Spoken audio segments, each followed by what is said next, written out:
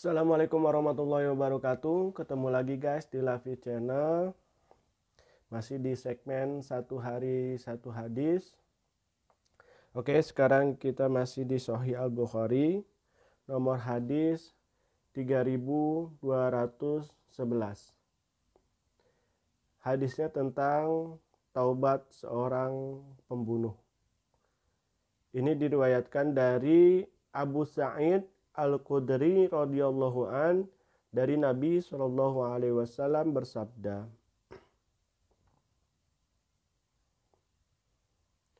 Kana fi bani Israel rajulun qatala tis'atan wa tis'ina insanan summa kharaja summa kharaja yas'alu fa'ata rohiban fasa'alahu faqala lahu hal min taubah? Qala la. Faqatalahu faja'ala yas'alu. Faqala lahu rajulun a'ti qaryata kaza wa kaza. Fa'adrakahul mautu fana'a bisadrihi nahwaha somat fihi malaikatur rahmati wa malaikatul azabi. Fa'auhallahu ila hadihi antakoroha. Ila hadihi antakorobi. Wa auhallahu ila hadihi antaba'adi. Wa qala kis kisu ma bainahuma fawujida ila hadihi akoroba bishiberin faku faku firolahu yang mana artinya adalah ada seseorang dari kalangan Bani Israel yang telah membunuh 99 orang.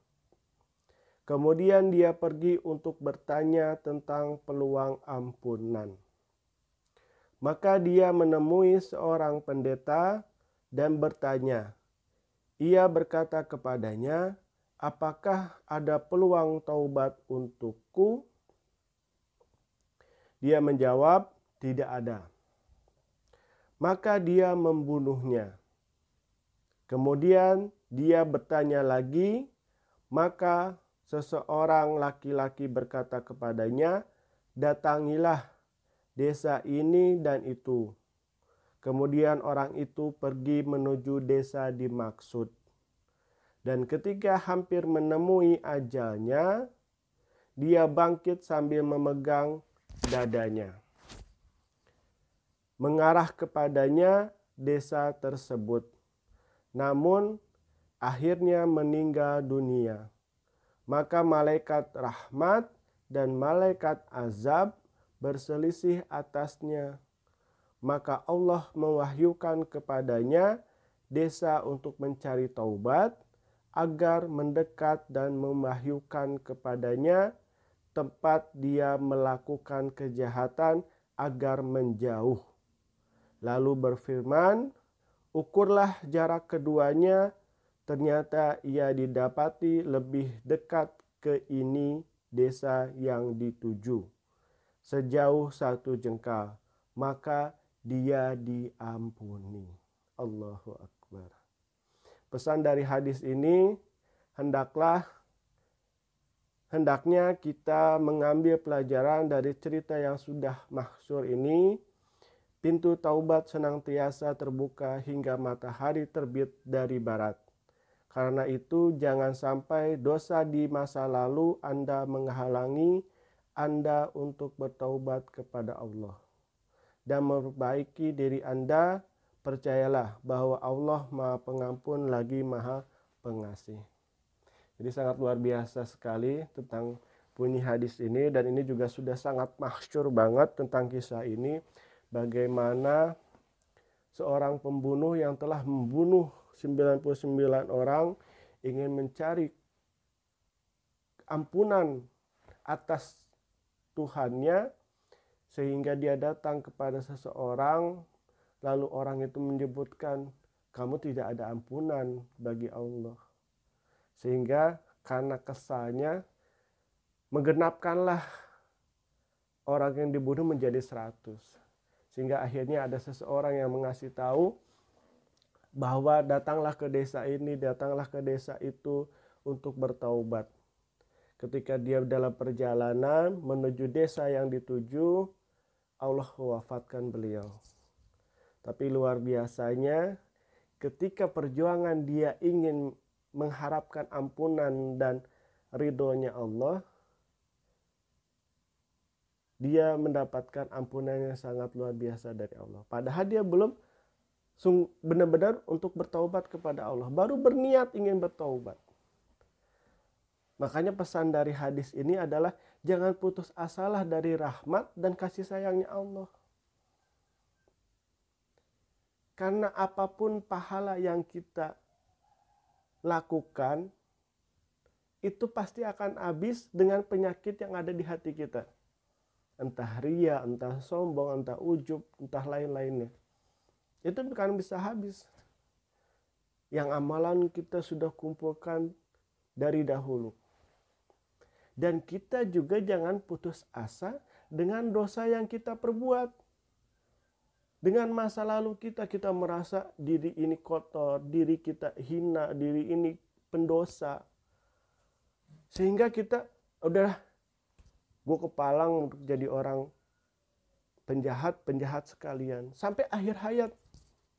Nauzubillah summa nauzubillah. Saya harapkan saudaraku semua tidak berputus asa seperti itu. Karena itu adalah jerat dan tipu daya setan untuk menjerumuskan kita. Kenapa? Hari kemarin, hari bes, hari lalu, hari yang sudah-sudah adalah suatu hal yang menjadi anugerah buat kita. Bagaimana kita bisa belajar di hari yang lalu untuk menghadapi hari ini. Dan hari esok adalah misteri. Makanya manfaatkanlah kesempatan kita ketika kita hidup di hari ini. Dengan cara apa? Satu-satunya cara agar kita selalu mendapat naungan dan ampunan dari Allah Subhanahu wa taala ada dengan menyebut asmanya. Mengingatnya. Apalagi setiap aktivitas kita ditanamkan dalam diri kita untuk menggapai ridhonya. Apa sih ridho Allah itu? Menyenangkan Allah. Makanya kan dalam setiap hembusan napas kita, setiap napas kita keluar sebutkan Allah, Allah, Allah. Jadi tidak peduli saudara-saudaraku semua mempunyai dosa yang sangat banyak maupun yang punya amalan yang sangat banyak. Ketika di akhir hayatnya tidak ingat kepada Allah, maka semuanya akan dipertanggungjawabkan antara dosa dan amalannya. Tapi ketika di akhir hayatnya mengingat kepada Allah dan Allah ridho dengan kita mengingatnya itu, maka ampunan Allah sudah berserta dengan kita. Dan orang-orang yang sudah diampuni oleh Allah sudah pasti tempatnya adalah surganya Allah Subhanahu wa taala. Makanya untuk saudara-saudaraku semua dengan hadis ini dengan apa namanya cerita dari hadis ini ini mudah-mudahan menjadi suatu motivasi untuk diri kita. Janganlah kita pikirkan lagi masa lalu kita seperti apa, burukkah masa lalu kita atau nggak pantaskah kita menjadi orang baik. Jangan semuanya kita ketika bisa hidup di hari ini adalah kesempatan untuk menjadi lebih baik daripada hari kemarin. Gak usah pikirin besok. Yang penting hari ini bagaimana caranya untuk selalu ingat kepada Allah. Minimal sebut asmanya Allah, Allah, Allah. Karena kita tidak tahu kapan kita diwafatkan dan di tempat mana kita akan diwafatkan. Tapi setidaknya ketika kita menyebutkan nama Allah, Allah angkat nyawa kita, Allah cabut nyawa kita dalam keadaan kita mengingat kepada Allah. Makanya mudah-mudahan ini menjadi motivasi untuk saudara-saudaraku semua yang pesimis maupun yang optimis dengan para pahalanya, orang yang pesimis dengan dosanya, ini mudah-mudahan menjadi suatu gambaran. Kita jangan bangga dengan amalan yang telah kita kumpulkan, dan kita juga jangan pesimis dengan dosa yang telah kita lakukan. Tapi bagaimana saat ini, detik ini, di kehidupan hari ini, kita terus mengingat kepada Allah.